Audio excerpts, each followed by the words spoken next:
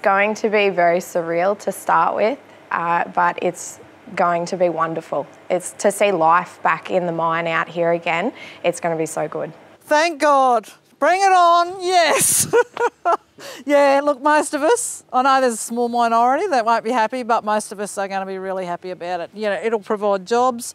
Our community was never so rich with the mine um, in the community. Like, we just can't, you can't hold enough cake stalls to provide the money that the mine provided for us. You can't do it, enough cake stalls and raffles, yeah.